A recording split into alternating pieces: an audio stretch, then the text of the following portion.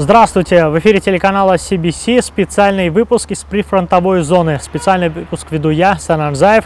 Гости специального выпуска – это Милих Евдаев, глава религиозной общины горских евреев Баку. Здравствуйте, добро пожаловать. Здравствуйте. И э, Гаджи Азимов, глава общественного объединения ветеранов-танкистов. Здравствуйте, добро пожаловать. Позвольте выразить вам и вам, и вам благодарны, что в столь непростые времена вы согласились прийти и принять участие в нашем специальном выпуске. Нашим гостям я, прежде чем перейти к вопросу, я хотел бы сделать некое уточнение. Мы находимся в прифронтовой зоне, мы находимся в районе Физули, а если еще точнее, в городе Городис.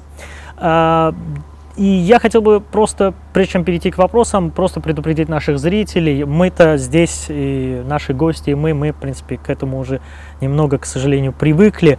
А, По ходу эфира вы можете слышать, как работает артиллерия, может быть, какие-то взрывы а, на расстоянии. Но это, как говорится, война, к сожалению, война имеет вот такие особенности. Надо а, просто понять эту ситуацию. Но так мы постараемся продолжить наш эфир, невзирая ни на что. И первый вопрос, э, Мильх, вам я задаю и вам, и если у вас будет что добавить. Э, Мы сами в прифронтовой зоне уже находимся несколько дней. До этого мы вели съемки в Тартарском районе, где, в принципе, похожая ситуация. Я имею в виду по напряженности своей. Но вы приехали только из города Баку. Я, нам было бы реально интересно понять, какая там царит атмосфера, а, как люди реагируют на новости с линии фронта, с этих боев, с этой войны. И приехав сюда, когда вы видите здесь людей, здесь город, а, каким вы находите ситуацию здесь, Мелих Валерьевич? Я, во-первых, благодарен вам, благодарен телевидению CBC о том, что сегодня благодарен Богу своему, что я сегодня в эти тяжелые, трудные дни для нашей Родины, для Азербайджана, для азербайджанского народа, я нахожусь здесь. Я считаю, что я, как был, всегда с Азербайджаном, с азербайджанским народом. Война, конечно, это э, приносит горе. В войне э, выпущенная каждая пуля попадает в сердце матерей. С этой точки зрения я вспоминаю слова нашего президента. Мы не хотим войны. Я не хочу даже, чтобы выпущенная пуля попала в сердце матерей наших врагов. Но если мы вынуждены, то значит мы готовы к войне. И весь азербайджанский народ сегодняшний день благодарен президенту в том, что наконец-то дано. Значит, приказ о том, что за 30 лет то, что были захвачены азербайджанские территории, пора освободить его от порабощителей. Поэтому сегодняшний день для азербайджанского народа оно со своим президентом едины. Несомненно. Армия и народ едины, потому что армия защищает интересов народа. Как первой фазы и второй фазы войны Карабахской, как были герои, сейчас тоже героическими подвигами наша армия продвигается вперед. Я думаю, что недалек тот день, который наш высокий флаг азербайджанский будет веяться на небесах Карабаха. Мой покойный отец воевал в 41-45 году в составе Третий Украинский фронт, 57-я армия, 223-я Белградская дивизия, 818-й артиллерийский полк.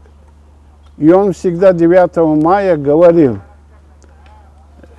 дети мои, нам достаточно одного Дня Победы.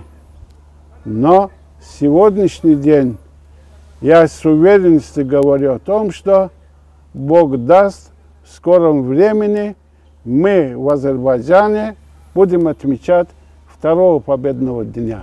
Несомненно, несомненно. Поэтому я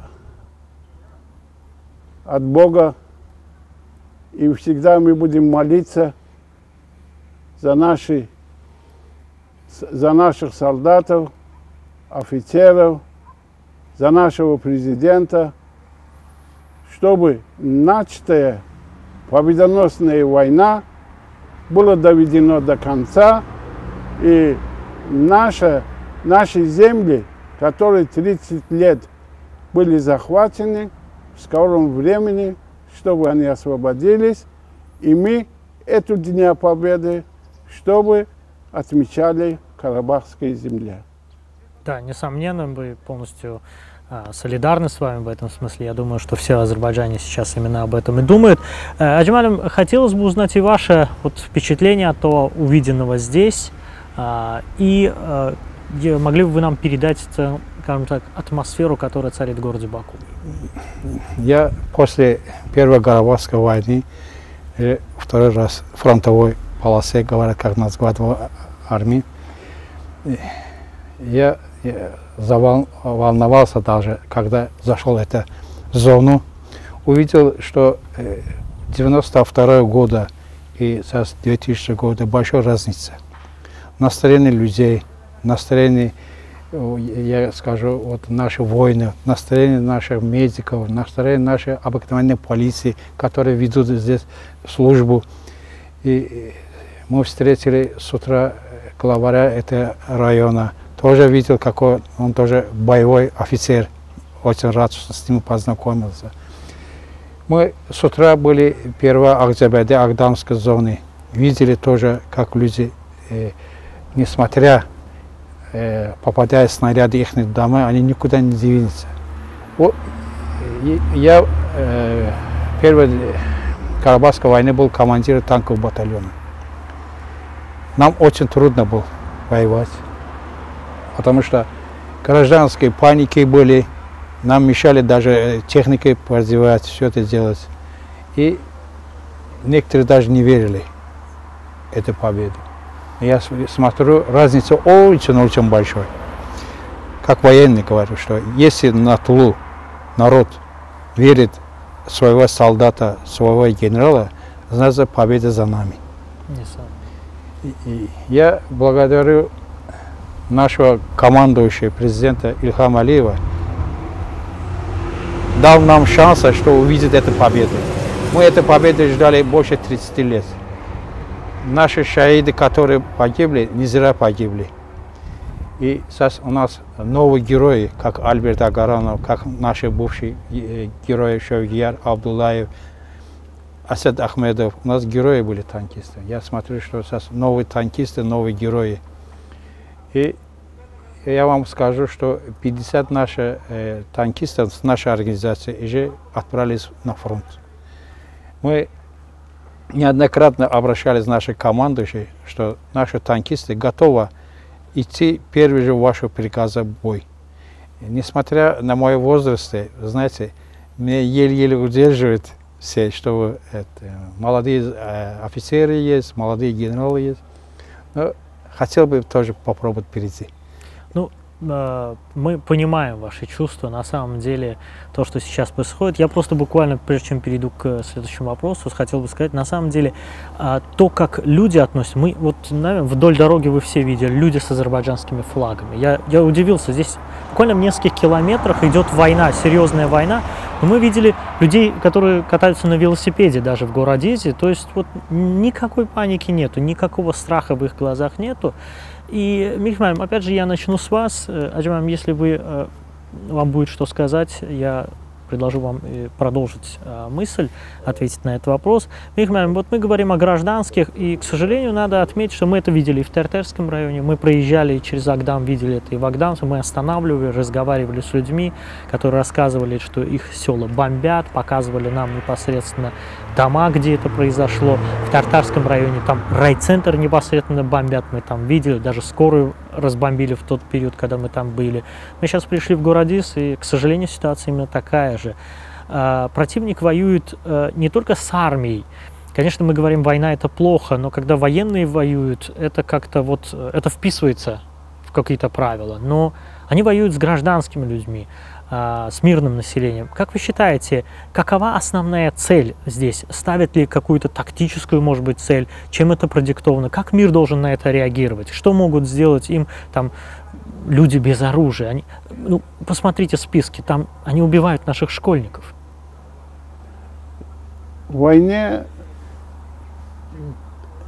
вообще имеет свои правила. А когда нарушаются эти правила и ведется бой против безоружных людей, это уже преступление против человечества. Меня удивило сегодня с утра мы проехали Бейлаган, мы прибыли в Физули, а потом хотели поехать в Агдам. А в дорогах GBD буквально за пять минут до нашего проезда попало штук шесть, значит, э, не минометных, а пушечных выстрелов. Артиллерийские. Да, артиллерийские выстрелы. Представляете? Жилой массив, Да. народ. И что было удивительно, буквально 500 метров от этого попадания народ Чайхане, ну, пожилые люди, сидели спокойно, говорили, чай пили. Абсолютно как будто нет той паники, которая была раньше. Это результат того, что народ верит своему солдату, своему своим военным. И сейчас и война ведется не в том аспекте, когда велось 90-е годы. Сейчас высокая технология, высокие техники, автоматизированные, э, точные попадания. Солдат, значит, умеющий воспользоваться всеми этими высокий э, солдатский дух и знает о том, что и народ, и главнокомандующий, и вся наша армия должны делать ту, которую народ ждет 30 лет. И с этой точки зрения сегодняшний день, помните, э, во время Великой Отечественной войны говорили не шагу назад, позади Москва. Этой ситуации должно быть такое, что не шагу назад надо освободить все земли, которые было 30 лет у захватчиков. Поэтому все подчинено к этому. И жизнь подчинена к этому, и вся, и весь народ подчинен к этой цели, и вся, и, и главнокомандующий, и наша армия, и наш народ жаждет того, того дня, который мы будем праздновать победы. Ну, мы верим, что этот день не за горами, мы верим в нашу армию, мы, разумеется, молимся за наших солдат, за наших военных, чтобы они этот день приближали. Аджималем, как вы считаете, когда армянская сторона, армянские ну, не знаю, насколько верно их называть вообще военными в этой ситуации, да, целятся в мирных людей, убивают школьников, школьников убивают. Это попытка нас напугать, это попытка сеять хаос. Видите, я скажу вам одну историю. Да. У меня был э, Сейдагам оператор. Когда он снимал Хозалынские события, которые детей брал, и иностранный корреспондент, и нее он сам рассказал, иностранный корреспондент спросил, как вас разрешили, что вы снимали там прямо армяне? Он сказал, боевики сказали, вот покажите вашим, что они боялись больше с нами не воевали. Но они очень глупы, они не знают нашим э, народ. У нас э, наш народ всегда, э, как сказать, э, не проиграл войну. Бой можешь проиграть, а войну никогда не проиграл. Наши, э, вы знаете, вот герои были, Альберт Агаронов, да. Вы были, кстати, его командиром, если да, не ошибаюсь. Мибарис. Да. Вот видите. Он был сам танкист. Да. Они не, не ходили убивать мирных людей, они убивали э, преступников, террористов. Мибарис что, зашел э, армянской деревни, убивал детей, что ли? Нет. Он зашел в армянские казармы, прямо военных, один на 57 человек. Или э, Альберт Агаронов. Он что, э, свой танком заехал э, Ханкенди? Нет. Они зашли в Шушу. Он подбил 9 танков. Bizde, как говорят э, по-азербайджански, что наши войны как киши, кем воевать, как ну, мужчины. Да, имеют достоинство. Это да. только трусы может э, убивать детей. Это, которые не умеют воевать, это может. Ну, как э, вам сказать, э, военный должен быть э, настоящей войны, воевать, воевать на поле боя, а с народом. Причем здесь народ? Гаджиман, раз уж вы коснулись таких моментов, я знаю, что у вас есть боевой опыт, а как вы в целом, не вдаваясь в подробности, мы прекрасно понимаем, в какое непростое время живем, что в стране идет война, большая война. А как вы оцениваете действия азербайджанской армии, которая мы видим очень много информации. Министерство обороны распространяет, как уничтожается э, техника противника, позиции противника. В целом, как человек, который тоже воевал, воевал именно на этой же земле.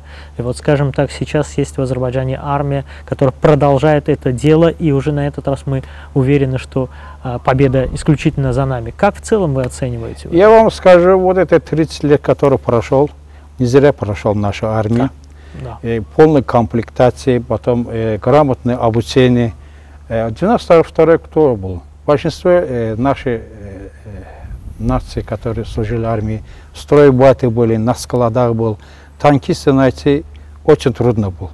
Даже э, офицеры у нас э, не хватало. Вместо офицера мы поставили сержантов старшина, вместо офицера командиров. Сейчас посмотрите. У нас свой есть академия, у нас есть военное училище, и, и 30 лет очень грамотно офицеры пускают. И, и выпускники, я видел это выпускников очень грамотно, я с ними встречался, у нас всегда, Мерик Малин знает, у нас всегда мы э, встречи э, делаем, у нас недавно был а, организован э, в прошлом году карате, э, честь э, нашего героя международный. Там были и курсанты были, они видно, что настоящие будущие офицеры, грамотные, они видели, как э, ветераны с ними смотрят. Говорят, наши ветераны говорят, командир, посмотри, если такие были бы у нас такие э, да, офицеры, да, э, раньше, которые... И мы с нашим танком давно э, Ханкянды взяли бы. Так что э, я не, не скажу э, много, потому что военный секрет не надо говорить. Разумеется. Да. Много изменился. Я не изменился скажу, в лучшую что сторону. У, у нас еще, я вам скажу, даже Азербайджан свой 30% э, не показывает силу. Если он 100% покажет, э, это запросто можем. Мы гуманитарные. Мы только воим осторожно. Мы не трогаем гражданские. И, между прочим, нашей земле ни одного, которому воим Физули, Зангелан, Кубатли, ни один армянский деревня, ни один армянин не жил там. И не должен. Как это можно мы убивать армян, когда этого района никогда армяне не жили? Раз. Второй. мы не бомбим мирный житель, который армянской деревни есть. Вы э, можете, недавно, э, два дня тому назад у нас э, сообщение было, наши предлагали, что это армяне сдавались пленные, Да, и, да, и по мы гарантируем им жизни, и, и- и как телевизионная европейская армия, э, как наше телевизионное это государство, мы им гарантируем жизни и обеспечим им все, что нужно для э, человека, и все. Вот так. вот. Согласно законам всех Да, Мих? конвенций. Конвенция. А не как они раньше, безоружные, вот это наших пленных Я- я- унижали, я, я унижали. очень, я очень извиняюсь, вот сейчас мне режиссер подсказывает, что сейчас поступила информация, она проверяется, но есть информация о том, что два часа назад а, в Тартарском, а, в городе Тартар нанесен удар по школе. Видите, да, и по жилому дому. Информация сейчас проверяется. Михмалем все-таки не отказывается, да, враг. Опять школа. Я опять же, я, я сам был очень сильно впечатлен этим, что Только два- что мы были в Тар- свидетелями. Тартарском, да. Только что мы были свидетелями. Бомба упала вблизи заправочной станции. Да. А там люди стояли, заправлялись машины. Но мы, еще- еще заправка работает до этих пор, Да. никуда не уходит. Стоит заправщик, заправляет машину. Да. И то, что мы в Акзабадинской дороге, Агдам Акзабеди, то, что мы увидели, Да. шесть снарядов, да. буквально перед нашим приездом. Вот так. Это, это еще раз доказывает, что иного пути у нас в принципе нет. То, что э, г- государство приняло решение о контрнаступлении, просто ну, иного решения быть не могло, если они Поним- убивают наших людей. Понимаете, они привыкли, то, что было 90-е годы, создать панику, хаос. А сегодняшний день я просто был поражен, насколько народ спокоен. Вот поле собирает картошку. Я, я говорю, мы приехали сюда, здесь мы слышим разрывы, да, снарядов, и люди на, на велосипеде, ну, дети на велосипедах. Трактор ведет свекла. Мы Да, видели. мы были. видели. Жи- жизнь не останавливается. Жизнь не останавливается, абсолютно. Люди ходят, как ходят спокойно, понимаете? И это о чем говорит?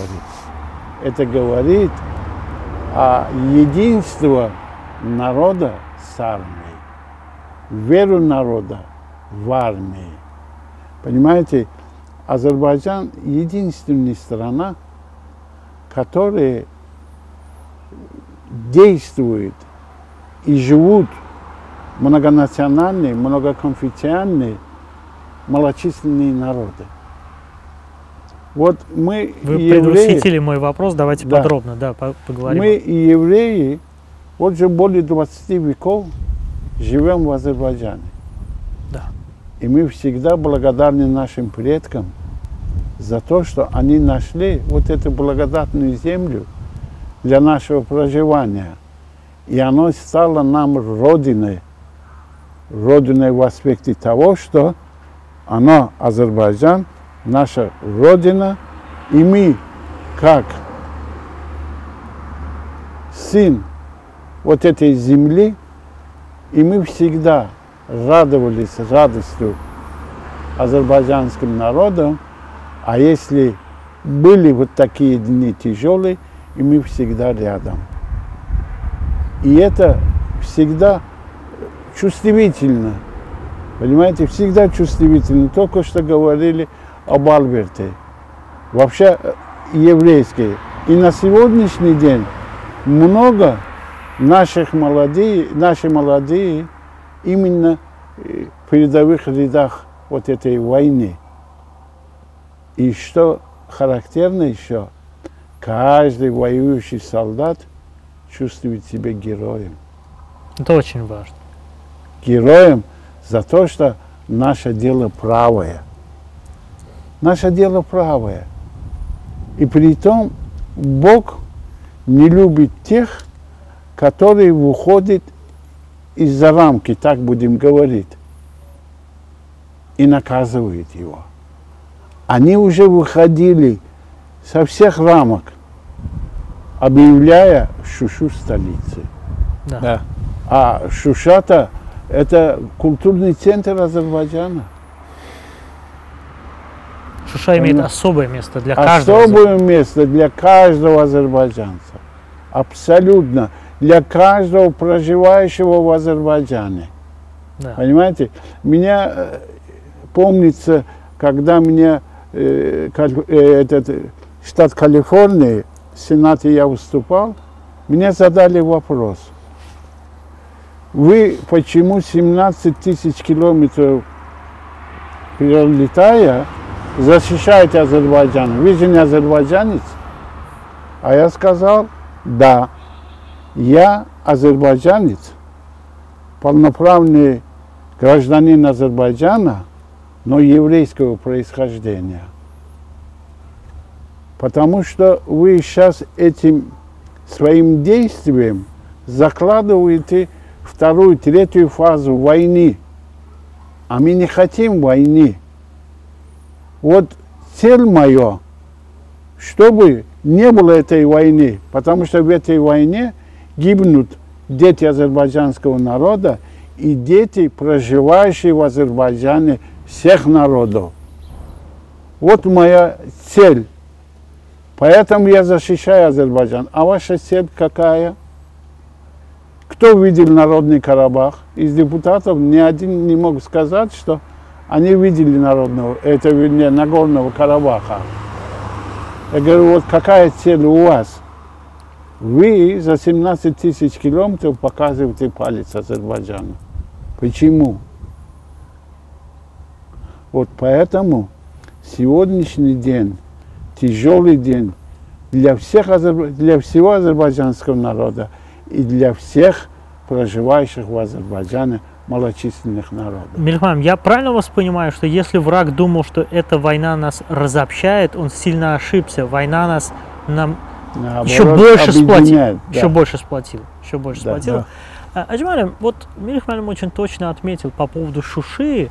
Знаете, там были и другие такие поступки. Ну, общеизвестная такая фраза, которую армянское руководство озвучило, да, и получило, конечно же, ответ в свое время. И, наверное, и сейчас получает, да, по поводу того, что э, Карабах это Армения, да, абсолютно неуместное высказывание, да, или то, что Мирих Мельм говорит по поводу Шуши. Они же тоже, наверное, догадываются, что для нас Шуша, и вот они напирают нас, задеть хотят. Они э, в данном случае это, это такая нацеленность на провока, они нас испытывали. Просто я в этого противника, знаете, и в 90-х, да? Да. Он же понимает, что для нас Шуша. Почему он так делает? Вот армяне наши, наверное, э, э, знают нацию, что когда у нас святое э, места есть, как Шуша, Карабах, у нас вообще все азербайджанские места святые считаются. Но Да. Карабах как наш э, родина Мугама, наша вот э, э, сколько наши все знаменитые люди вышли из Шуши, Родина поэзии. поэзии, вот они э, хотели тогда, вот знаешь, отомстить, вот смотрите, ваши Шуши, что мы делаем. Ну, ну что они с этим доказывают? Вот я э, вам скажу одну вещь, мне интересно было. Неоднократно наш командующий, президент Илхам Алиев, сказал, что выведите армию из Карабаха и будем сидеть за стол переговоров. Но ни одного слова не видели, что будете армяне все оттуда. Он говорит, войска. Он говорит, армянский, тоже карабахский, тоже может жить в Карабахе, как азербайджанцы. Вот Альберта э, есть слово есть, когда он ему вопрос Я- дали. я- я- вопрос я- дали. я- я очень, я очень извиняюсь, мне сейчас режиссер подсказывает, что мы подключаемся прямым эфиром сейчас в Ага, Тартар. ага. Там э, в школе нанесен непосредственно артиллерийский удар. Мы сейчас попытаемся это показать в эфире. Сейчас будем ждать. Да. Да, да. Сейчас. Да. Да, вы э, продолжайте мысль свою, да, если не очень. Вот, э, а что они э, делают? Ну, они, Да, сейчас, Я- сейчас, кстати, идут кадры в эфире, да. э, вот Вы- они э, думают, что вот они э, может пугать нас. Вот это насчет школы. Вот идет это кадр. Но они, они знают карты, у них есть тоже, э, знают, где школа находится, где находятся э, дома и что делать. Они не могут воевать с, с нашей армией. Вот знаешь, э, э, э, и начинают э, отомстить э, безоружным людей. Гражданский. попробуют, пускай ударит, да, это артиллерия наших войска или что-то. Но и них не попадает, потому что наша армия сильнее, грамотная. Они не будут ждать, когда армяне ударят им. Как один раз ударит, два раза мы ответ даем им. Я вам только сказал, если, если они хотят дальше, как народ, существовать на Кавказской земле, нужно с соседом дружно жить. Ну, это залог успеха, да. Они только портят вот этот мирный договор. Еще можно, еще время есть, можно договориться, можно мирно жить. Но они еще портят, портят настроение. И потом такой момент придет, даже они договориться захотят, мы не будем захотеть, потому что сколько у нас детей погибает, сколько у нас... Я знаю, знаешь, Не, я, не я, все пон- в этой жизни. я, я, я понимаю, можно. я понимаю старший, да. Ну, стреляет, он может спрятаться, но дети дома сидят. Да, да. Играют они, и они снарядом бьют. Ну, у тебя тоже есть дети. Я говорю, вот э, э, мы воевали, мы тоже захватили. С 92 года у нас такой большой победа был. Агдаре взяли, все взяли. Но мы никогда детей не убивали. Я даже э, скажу, что нам попадали, мы пускали. Э, такой была история. Может, армяне, может, смотрят, может, кто-нибудь этой женщины помнит меня. Я сказал, идите, вот ваша э, дорога там. Азербайджанские солдаты никогда э, детей армянских женщин не воюют. Пускай ваши мужчины придут. Мы не трогали никого. Я не знаю. Э, У них такой нация, да, я не знаю. Они могут гордиться везде, э, Америка. Мы Я такой, думаю, куль- что это мы такой культурный. многолетней политики. о Даже которой- если они такой культурный, армии тоже есть культура. Как воевать? Ну, мы Как вчера- вести мы- себя? Я, я очень извиняюсь, мы вчера буквально говорили с Михаилом Соломоновичем на эту тему, о том, что вот получается война без правил. Мы говорили с вами, Да. ну хоть какие-то правила должны быть. Я, э, Михаил, хотел бы коснуться еще одного такого момента. Мы говорим о убийстве детей, мы говорим о потерях. Война, конечно же, предполагает, что потери будут с двух сторон. Вы знаете, э, ну сейчас какую-то часть армяне признают своих потерь. Я смотрю эти списки, там ребятам по 20 лет большей частью по 20 лет. Ну, я уже не говорю, сколько там искалечено, сколько стали инвалидами на многие годы. Как эта война, вот эта война, мы верим в победоносность этой войны для нас, как это все отразится на армянском обществе, на армянских людях? Эти же люди будут возвращаться, эти их политики будут смотреть им в глаза. Как они это будут делать? Я вам одно скажу. Я этот вопрос задавал в многочисленных встречах и с армянскими диаспорой. Понимаете, я говорю, вы спите и видите от моря до моря Великую Армению. Если у вас не было даже для создания государства земли, и то вам отрезали от азербайджанской земли, отдали вам. Азербайджан было 360 тысяч квадратных километров во время Ша Исмаила Хатаи. 360 тысяч квадратных километров. А сейчас 86. И то 20% вы захватили. Как это можно вообще психологически?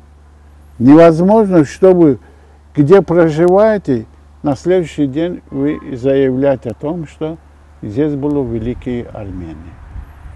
Они говорят, вы знаете что, у нас политика наша локальная. Когда нужно, мы можем на черное говорить белое. Значит, воспитывается с самого начала в этом духе. К сожалению, да. Понимаете? Жили в Турции, предъявили, значит, захват. Сперва, прежде чем создать армянское государство, они хотели земельни- земли с Грузии. Грузия не дал. Вот мы щедростью К сожалению, это, К это- это сожалению. было ошибочное решение тогда. Да. Это было ошибочное. и еще Россия помогла. Михмам, я еще раз вернусь, у меня один вопрос к вам остается, но я хочу по поводу того, как эта война, вот с теми потерями, они еще многое не признают, но это вопрос времени, они очень странные, они сначала говорят, что не теряют позиций, а потом выходят новости о том, что они вернули какие-то позиции. Как ты можешь вернуть, если ты не потерял, да? Ну, так сказать, мы же, мы же понимаем, с кем мы имеем дело. Как армянское общество может поменять вот эта ситуация с этим огромным Возможно. количеством жертв и так далее? Сейчас они не признаны, но это вечно продолжаться не Я, будет. я, может, там армяне тоже смотрят, да, как военные. Я, думаю, я, мы, я- мы вещаем на русском, мы да, уверены, я что думаю, они а- смотрят. Я армянскому народу говорю, что ваше э, вот это правительство, ваше военные обманывают. С такой потерей идти обратно взять э, невозможно. Если он такой, э, я за контратака, контратака считается 3-4 раза потери, тем оборонение. Если они оборонительно такой народ потеряли, что обратно хотят взять, я не знаю. Обманывают, и раз. И второй, и, э, могу сказать, что все видно, да, если они что-то взяли обратно, да, хотя бы показали бы. Вот наши показывают, как подбили их танк, как подбили это. Ну, они что показывают? Один так может даже, это не наш даже армянский танк показывает, что подбили, это все горит. Ну, И все время его показывают, показывают, показывают. Вчера даже я смотрел московскую передачу, так, э, знаешь, даже русские смеются. Вопрос дает армянам. И как это так, э? Су-25 подбили, э, наоборот, мы должны говорить не один, а два Су подбили, а говорим, Мы что... даже не знаем мы его- даже говорим, не знаем. А потом м, этот э, хорошо сказал Хикмет Азиев, что, может, он пошел, пьяный был, пошел, подбил этот город. Да, на самом деле было, э, что мы его на радарах-то ничего такого не видели, а они говорят, его подбили. Вот- ну, может быть, там в вот, гору э, врезался. Вот насчет этой F-16. F-16, э, наш президент еще раз сказал, что у Ничего- нас со- э, современные технологии и армяне есть, и Россия есть, и Германия, и все есть. Если полетел бы F-16, давно Его бы сразу- показали бы, показали бы. Очень просто. Ну, знаешь, они сколько э, э, э, воровали наши песни, нашу кулинарию, нашу э, историю, воровали, воровали, обманули все время, вот обман, обманывают. Думаю, что это тоже обман пройдет. Ну, знаешь, они уже сколько обманули, сейчас они свои не понимают. Обманывают или не обманывают. Да. Я, я вам скажу, что они потеряли свою голову. Переговор, первый сказали, это Карабах Армении, сейчас говорят, Арцах это отдельное государство. Они даже один... Ну, этот упрек был и в самой Да, Армении. Вы сами они, они, определитесь. они 30 лет, наверное, сто раз поменяли. То Арцах, то Карабах, то Армения, то это, то танцуют там косяри, то там... Только хотят наше настроение потерять, что делать. Ну, наши люди терпели. Благодаря нашему государству терпел. Он хотел мирно все сделать. Сколько можно ждать мирно? Один раз, два раза. Если человек не понимает, значит по-другому нужно. Мы сейчас, э, если они не поняли мирный, сейчас по военной хорошо поймут, что не надо э, э, шутить с азербайджанским народом, с азербайджанским правительством. испытывать терпение азербайджанского Да. народа, азербайджанского Да. государства. И буквально последний вопрос, Михаил, есть такой момент, э, очень печальный, понимаете, когда, может быть, политики, может быть, военные говорят такой риторикой, это понятно. Но мы сейчас видим э, глав э, различных религиозных общин Армении, то есть, ну, имеется в виду армянская церковь, она есть и на Ближнем Востоке, в самой Армении, может быть, в других странах. Они в один голос говорят о войне, что надо наращивать и так далее. и Там, то, есть, то есть логика такая, что люди религии, люди верующие, люди, которые ближе к Богу, может быть, понимающие, что вот эта жизнь дается человеку один раз. Может быть, гораздо логичнее было бы делать примирительные какие-то заявления, понимаете, как может быть освобождение каких-то территорий, а, обозначить эти моменты, чтобы как-то вот остудить, понимаете, с этой стороны тоже люди, их дома, они видят, они родились в этой земле, они хотят жить, они хотят там воспитывать своих детей, вы лишаете всего этого. Меня, например, очень поразило, что армянские церковные деятели сейчас ратуют, а, понимаете, логика откровенно воинствующая, риторика откровенно воинствующая. Насколько это верно? Могло ли бы, могли бы они выступать по-другому, как вы считаете? Я скажу, что все религии небесные, они везде, всюду, всегда говорят о том, что мирная жизнь, не убивать. То, что Моисей получал две каменные скрижали, о том, там 10 заповедей. Почти половина заповедей говорит о том, что не убивай, не воруй, не прелюбодствуй, живи мирно, люби ближнего больше себя, понимаете, и всегда, и в исламе тоже, и Коран об этом говорит, и Святой Тор об этом говорит, и Святой Коран об этом говорит, и вся, и Библия Святая об этом говорит. Но только что мы говорили о том, что если с малых лет люди воспитывают духи ненависти, другим нациям, национальностям. Это значит, оно уже вошло, ну как сказать, каждодневную, ежеминутную ненависти к тем людям, которые они считают, что их надо ненавидеть. А в Азербайджане 25 веков живем с миром, радостью, братством всегда. Даже никогда не спрашивали, зная о том, что я еврейского происхождения.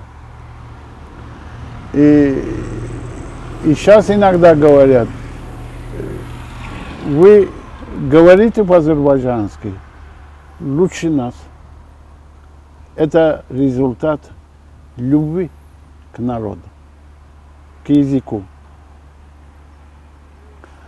Поэтому нельзя жить ненавистью. И как они будут смотреть в лицо своего народа, я не знаю, но народ сам должен определиться. Жить реальной жизнью, а не той жизнью от моря до моря в Великой Армении. Это же нереально. Сами знают, что нереально. Э, было вот такое случай, значит, хотели в Болгарии воздвигнуть э, нигде памятник. И Министерство Нацистскому коллаборационисту, да. которого в Армении делают героем. Да. Да. Да. И Министерство иностранных дел предложило сделать ноту от имени еврейской общины Азербайджана. И мы сделали такую ноту, послали президенту Болгарии, премьер-министру Болгарии, э, Верховному суду Болгарии, генеральному прокурору Болгарии, меру города, куда они, где они хотели его, потом еще двум еврейским организациям.